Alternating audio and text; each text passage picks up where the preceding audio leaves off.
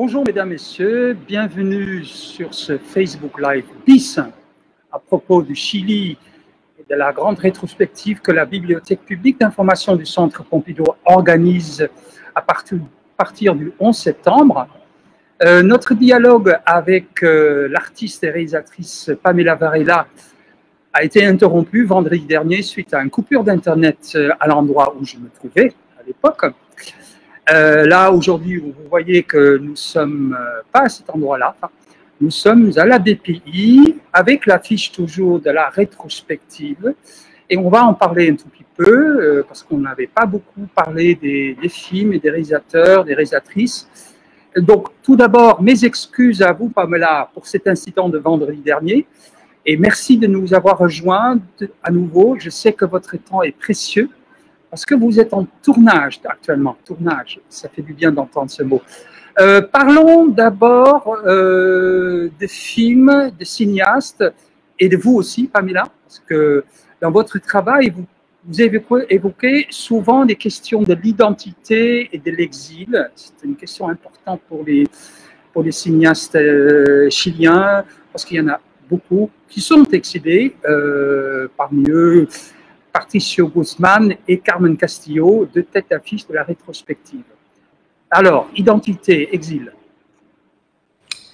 Euh, tout d'abord, bonjour. Hola a todos los que están.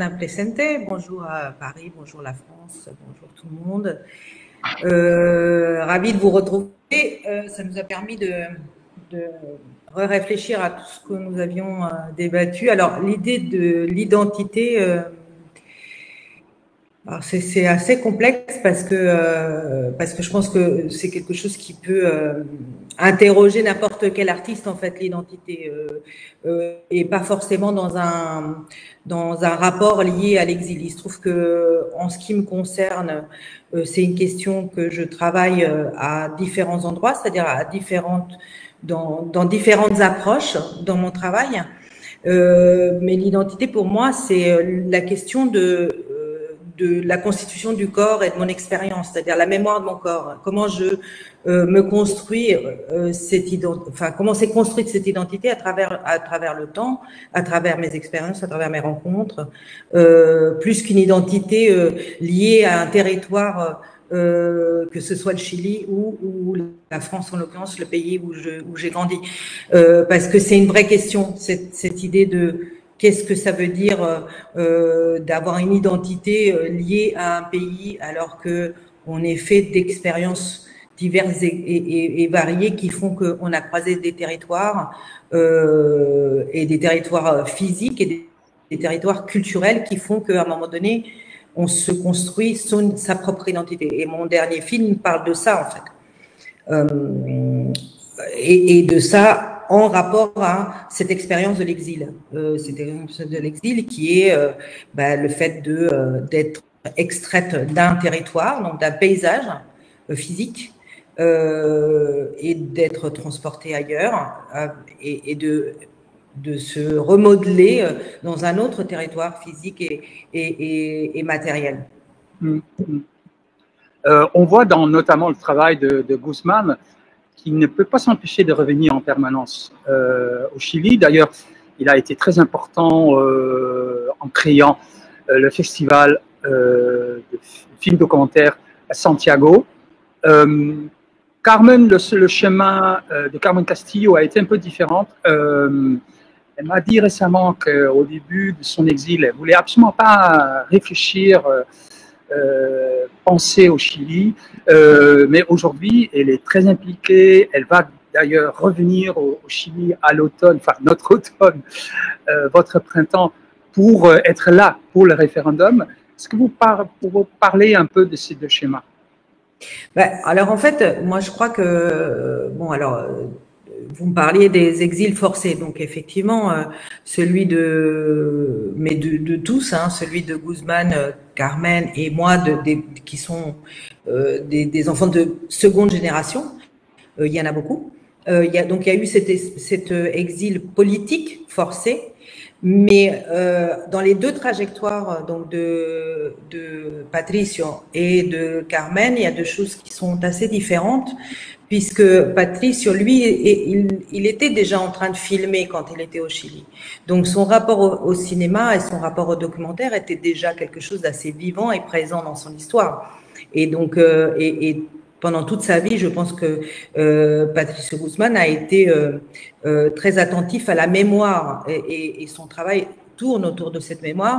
Et donc forcément, la mémoire, euh, euh, comme je disais tout à l'heure, l'empreinte qu'on a, elle, sa mémoire, elle est liée à l'histoire du Chili, puisque de toute façon, euh, c'est aussi une des raisons qui le constitue dans son exil, c'est-à-dire le fait d'être parti et de devoir travailler à l'étranger, de se questionner, de savoir comment il peut parler du pays, euh, et continuer son travail de documentariste.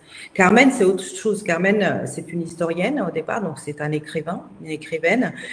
Et Carmen, elle est venue, euh, je pense que déjà, ça, bon, alors tout le monde connaît son histoire. Euh, je pense que vous présentez Calle Santa Fe, qui est un film absolument magnifique, qui raconte extrêmement bien son expérience euh, de ce départ et, et, comment ça peut être traumatisant. Euh, je pense que Carmen, elle a, elle a, elle a commencé à, à, travailler, à faire des films bien plus tard, en fait. Mm. Euh, et d'une autre manière, c'est-à-dire que euh, je pense que effectivement peut-être que euh, le fait de faire des films et, euh, la ramène de plus en plus au Chili et profondément à ce qu'elle est. Et d'ailleurs, son prochain projet, comme vous, vous en parlez, est, quelque chose, est un film extrêmement intime, extrêmement personnel. Et je crois que plus elle avance, plus elle va vers quelque chose qui vient vers euh, l'intime, qui questionne justement son rapport profond à, au, au Chili et à l'histoire du Chili. Mm. Alors, il y a aussi des, réalisateurs qui ne sont pas partis, euh, soit parce qu'ils étaient trop jeunes. Euh, je pense notamment à Ignacio Agüero, euh, qui fait son, son, film de fin d'études en 1977. Donc, c'était vraiment un enfant. Au, au, moment où Pinochet prend le pouvoir, mais aussi Carlos Flores del Pino, euh, dont on va proposer deux films. Euh, Carlos est déjà aussi un jeune cinéaste. Euh, et vous allez, vous d'ailleurs, présenter deux de ces films. Un film que Carlos a fait juste avant le coup d'État et un film après. Est-ce que vous pouvez parler un peu de ces, ces deux figures? Carlos Flores del Pino, je, je signale à tout le monde, c'est un professeur euh, de cinéma très, très, très, très populaire au Chili. Et puis, et puis quelqu'un d'important dans l'histoire du documentaire au Chili, puisque euh, puisqu'il dirige une école de cinéma, enfin une section de, l'université euh, qui travaille autour de, enfin qui, a créé une, école de cinéma et euh, qui a été aussi euh, très présent euh, dans la, la, la naissance de FIDOC au, au, Chili, de, du Festival international de documentaire de Santiago. Euh, ben, ce que je pourrais dire, c'est que, ben, évidemment, il y a des trajectoires qui sont différentes. Carlos non plus est pas parti. enfin voilà. Et, et, et, alors, ce qui est intéressant sur Ignacio Agüero, moi, je trouve que justement le fait qu'il ne soit pas parti et qu'il soit resté donc sur le territoire fait que son cinéma est, euh, est, peut-être plus intime d'office. C'est-à-dire qu'il et, et, lui part du petit, de, de tout ce qui est de, très petit pour arriver à ce qui est universel. Peut-être que c'est la, c'est la différence et qui existe entre peut-être entre lui et Guzman et où, euh, où Guzman a, a, tout de suite travaillé sur des projets un peu euh, euh historiques, enfin tout cas qui essaie de retracer l'histoire du Chili euh, et ce qui s'est passé euh, avec la bataille du Chili, avec tout ce qui a suivi, avec euh, la mémoire obstinée. La mémoire, non, la mémoire obstinée, c'est la, la, programmation. la mémoire obstinée, oui. Oui, voilà. donc, je pense qu'il y a un travail plus dans qui prend le, qui aborde en fait cette histoire de façon plus globale, mais peut-être parce qu'on est plus loin et donc dans un rapport de distanciation. Euh, lui, travaille vraiment euh, sur euh, l'espace comme euh, vraiment c'est un travail très très intéressant de figuration de l'espace, mais à l'intérieur du pays. il, tourne, par exemple, en 85, un film qu'on va projeter, euh, Comme de la Gana, qui est un, moyen métrage, un court métrage, où euh, Agüero interroge les cinéastes de son époque. Oui, alors justement, encore sous la dictature. Bah, ce film est très intéressant parce qu'il se questionne tout le temps, euh, Ignacio Agüero, sur, euh, sur euh, l'idée de qu'est-ce que ça veut dire de faire du cinéma, qu'est-ce que c'est que le cinéma en fait? Et donc dans ce film qui est, qui est vraiment très très intéressant et dont il fera une deuxième version il y a très peu de temps, en 2016, euh, qui s'appelle Comment on à la gana 2, euh, où il interroge, donc dans cette première version, où il va interroger des réalisateurs qui sont en train de réaliser leur long métrage de fiction, euh, donc en pleine dictature, et il, les interrompt et il leur demande comment peut-on faire du cinéma aujourd'hui ici? Voilà. Et euh, donc il s'interroge vraiment de l'intérieur. Donc c'est pour ça que c'est intéressant de voir euh, sa filmographie parce que parce que euh, il y, a, y, a, y, a, une résonance aussi avec ce qui se fait de l'extérieur. C'est-à-dire qu'effectivement, peut-être que euh, peut-être que les, les approches, euh, même si je pense que il y a des films plus dans la période de la trilogie de Guzman, donc les, trois derniers films, donc Nostalgia la douce, Le bouton de nacre et les, le dernier, Les songes de la le soignant Hein? La, la, cordillère los sueños, euh, la, cordillère des, rêves. Euh, il aborde aussi les choses euh, d'une façon plus intime mm. sur le territoire. Mais bien avant, on peut, on peut mettre en perspective, mettre en résonance ou en miroir, regarder les films d'Aguero dans les années 80 et ceux de Guzman.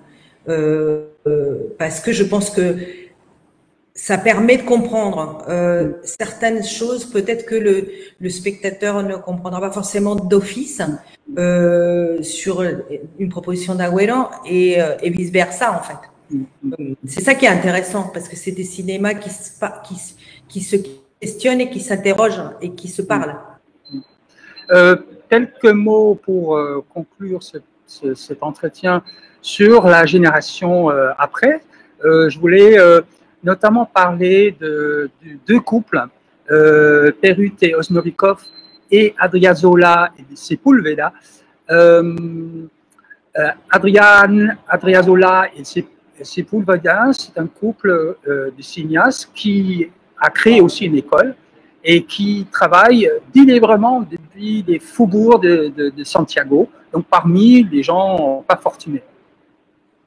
Ouais, alors, euh, euh, eux, ils ont créé une, une, une école qui s'appelle Escuela euh, Popular de Cine. Euh, alors, moi, je considère leur cinéma, euh, je, je, dirais que c'est un cinéma assez punk, en fait.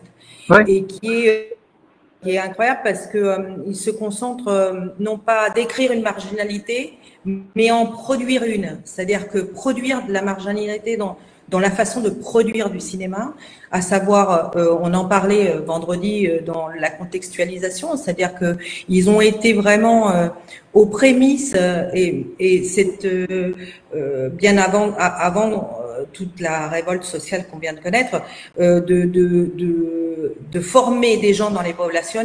bon, c'est une, c'est quand même assez traditionnel au Chili, mais quand même là, ils, y travaillent, ils y vivent et ils développent euh, des projets avec la population.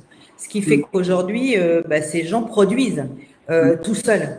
Euh, ce qu'on disait vendredi, c'est que comme il y a la pandémie qui, qui, qui ne permet pas la circulation des, des, des personnes, ben, en fait, dans ces populations, il y a des gens qui produisent. Mais ça, c'est grâce aussi à leur travail. Et, euh, et, je trouve qu'on on va montrer, enfin, euh, la programmation va montrer euh, euh, Crónica de un comité, qui est un très très beau film euh, assez incroyable sur euh, qui aborde en fait tout ce dont on a parlé aussi, là, bon, le côté très néolibéral de la nouvelle. De, de, et, et, on va aussi programmer en première française hein, le dernier film du couple Harley Quinn, qui, bon, parler de punk, hein, c'est vraiment un film punk totalement. C'est un film sur une, euh, euh, stripteaseuse slash médium qui habite aussi dans les faubourgs. Euh, et donc, c'est un film totalement incroyable, très très fort, et qui sera présenté par Carmen Castillos. D'ailleurs, c'est elle qui a proposé le film.